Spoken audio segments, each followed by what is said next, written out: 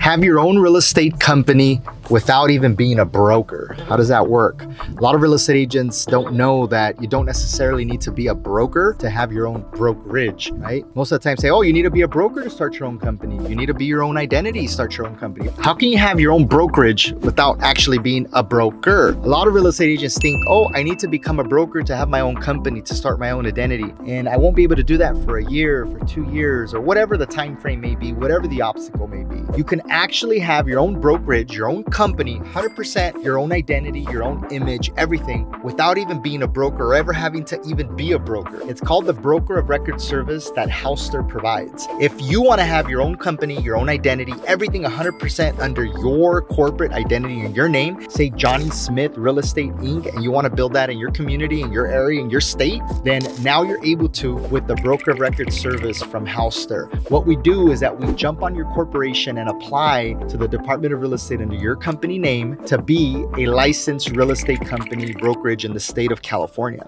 After it's approved, 100% your company is licensed, you now have a brokerage. You now have your own company where you can hire your own agents, set your own plans, set your own terms for your company. Houstir not only prides itself in providing 100% commission to real estate agents, but it also prides itself in helping other agents start their own company, their own brands, their own identity on their own terms. If you want to learn more, click on the broker of record service and you'll learn more.